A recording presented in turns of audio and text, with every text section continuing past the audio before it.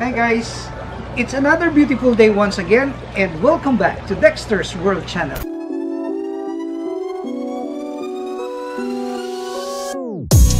Dexter's World Channel. channel.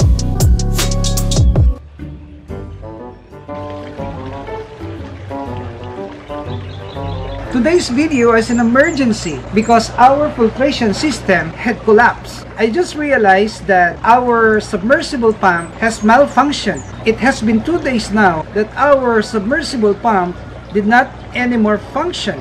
Yesterday, I really did not notice about this. And also, Joseph went on a vacation. That's why this is an emergency. As you can see over there, our baby kois are really gasping for breath. And this is not a good sign because if we will not address the issue, then all of this fish will just die in a moment. Well, today I am going to share with you my tips on how to address the problem. Well, of course, you know that we've been mentioning about the importance of the filtration system. This filtration system will create a nitrogen cycle. It will develop your good bacteria in the filter media and it reduces the buildup of ammonia and nitrates. And the filtration system is really indispensable in a koi tank or in any aquarium. But what happens if this will collapse? Of course, we have to address the issue immediately. And we have three things to do immediately to prevent all this fish from dying. The first one is to add water immediately to the tank. You will add water because the new water will reduce the ammonia and the nitrates. That's really very harmful to the fish. And number two is to provide immediately this air pump. As you can see, I have placed two air pumps over there and here. And this is very essential because if we will not provide them, this fish will just die in a matter of 3 to 4 hours. So aside from putting this air pump, we will provide a temporary filter bucket.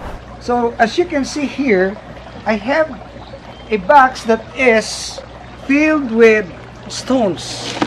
I got these stones from there. So what is the importance of this? Well, the importance is to provide a temporary filtration system because as you can see, the fish are really now gasping for breath and they needed oxygen a lot. So we will remedy the situation. We will drop this in this pan and we will put the tip of the hose that is connected to the air pump here inside in the middle. So this is the way how to do it. We will make a hole in the middle and we will put here inside the hose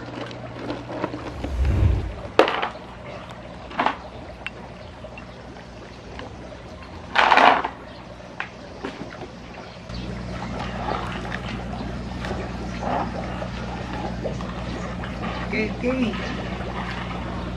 As what I have said this is an emergency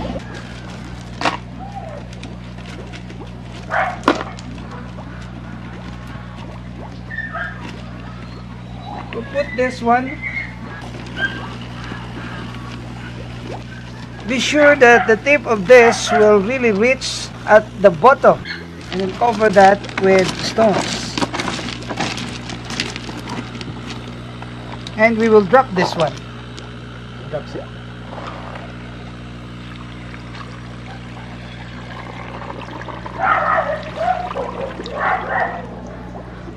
So now I'm sure that the fish will no longer die because the filtration system is now working.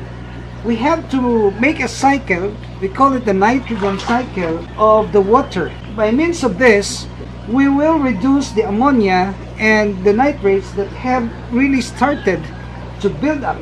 This is not really good for our fish. And how do we know this? We will know this if we can see or observe our fish in that condition.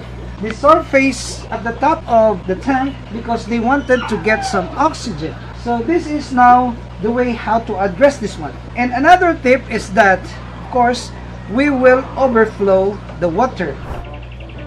we tried to repair this submersible pump but it really didn't work so it is already a busted submersible pump and we will have to replace this with new one immediately but what I am sharing with you now is for emergency purposes because that system will not also last long.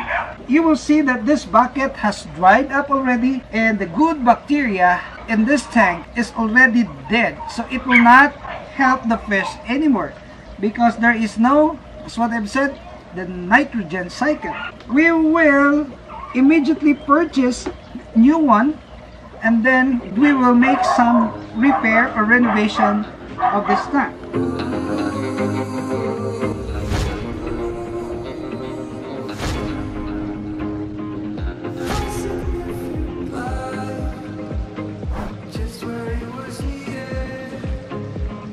Maybe you will ask Dexter, will the fish survive without the filtration system?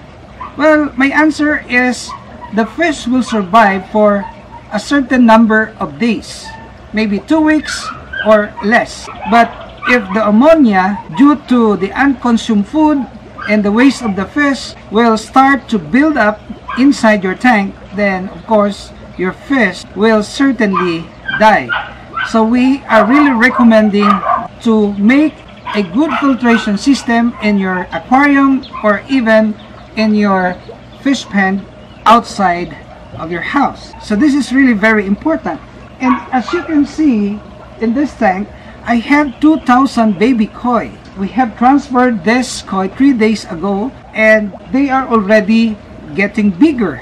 And because of this situation, this can die in a matter of hours from now and it will certainly cause us to suffer losses and as you know in this fish industry we really had to take precautions and we have to be extra vigilant especially when this scenario this situation comes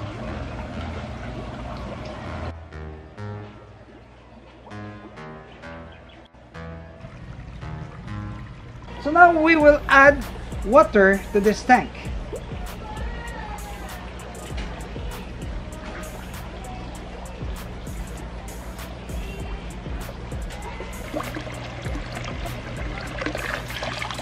I'm getting the water from the deep well. This water is not chlorinated because the source of this is from the well.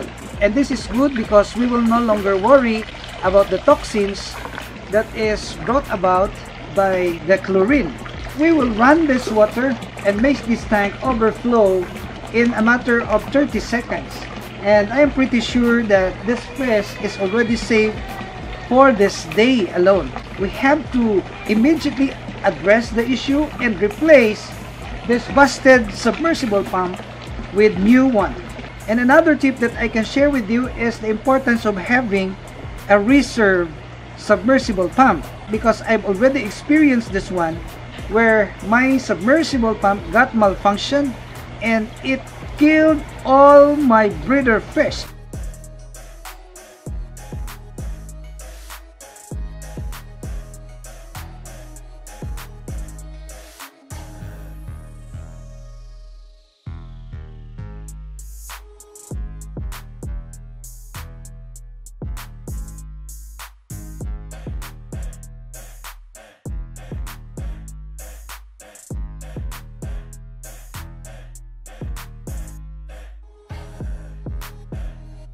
That was the most tragic event that I experienced last year. So I don't want this to happen again. And again, I am reminded of the importance of having a reserve backup submersible pump, which I feel because I've already used the extra pump for the other tanks. So this is the thing that we can share with you so far I hope you will continue to like and share our videos. And if you are new to our channel, I'd like to humbly request that you will subscribe and after you subscribe, you hit that notification you hit that notification bell so that you will be notified of our regular uploads only here at Dexter's World.